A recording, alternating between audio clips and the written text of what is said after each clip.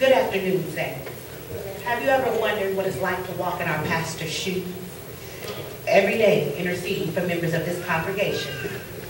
Oftentimes, pastor sacrifices his time away from his family to visit the sick and shut-in, to comfort the hurting, to marry the couple that has chosen to spend forever together, and to bury those whose forever may have come too soon.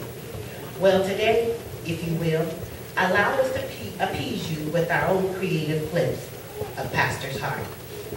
Let me present to you a word that describes the condition of pastor's heart.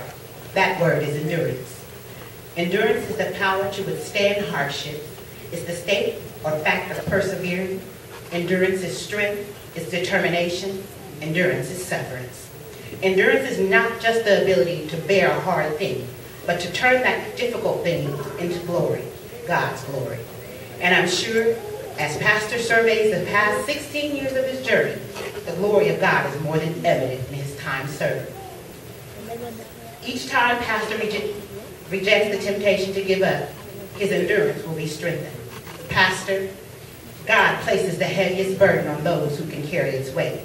And in our eyes, this is what endurance looks like and sounds like. I just can't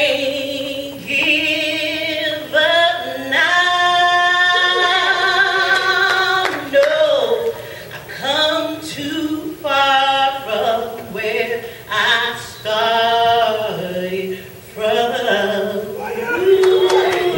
Ooh, nobody told me this road would be easy, and I don't believe he's brought me this far to leave.